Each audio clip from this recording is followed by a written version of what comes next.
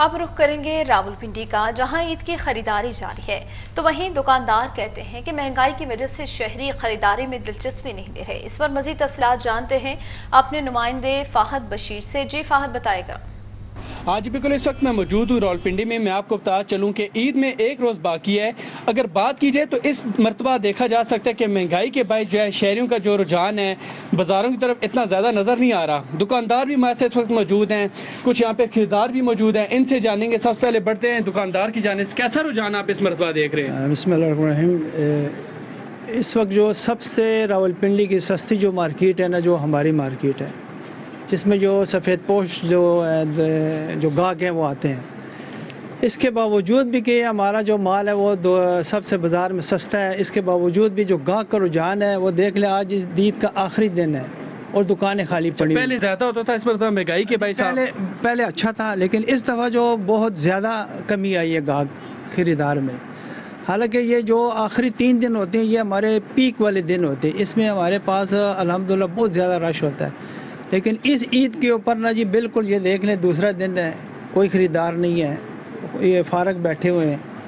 तो इक्का दुक्का गाहक आ रहा है। जो गाहक आ रहा है, जितनी भी जो फैमिली हैं, वो तकरीबन, या बच्चों के लिए खरीदती हैं, या अपने घर वालों के लिए खरीदती हैं। जो मर्द हैं तो वो तो बेचारे बिल्कुल ही नहीं खरीद रहे आपने गुफ्तु सुनी नाजरीन, दुकानदार तो हमें काफ़ी परेशान दिखाई देते हैं। इनका ये कहना है कि जब गुजशत ईद होती थी तो एक रोज़ कबल काफ़ी यहाँ पे शहरियों का जो है, काफ़ी रश होता था। खरीदार आप हमारे साथ मौजूद हैं अस्सलाम वालेकुम। कैसा आप रुझान देख रहे हैं? महँगाई बढ़ती चली जा रही है इस मरतबा। क्या कहेंगे आप इन तमाम सूरत के मद्देनजर? महँगाई का तो देखिए जी हम भी यहाँ के मकामी हैं यहीं के रहशी हैं। तो यहाँ पर तो जब ऐसा इवेंट आता है ईद का का तो आप देखते थे यहाँ पर तो बिल्कुल ऐसी रश यहाँ पर होती थी। यहाँ पे गुजरने की जगह आपको नहीं मिलती थी तो कीमतें कैसी आप देख रहे हैं? कीमतें हाई होने की वजह से महँगाई होने की वजह से यहाँ पर आप इजीली आप, आप यहाँ पर पार्किंग मिल जाती है और आप सुकून से शॉपिंग कर सकते अब आप देख रहे हैं कि इस गली में जहाँ पर आपको सिर्फ़ मेरे अलावा बंदों की नज़र नहीं आएगा खरीदने वाला खरीदार और कोई भी नहीं है। जिसकी वजह से महँगाई है।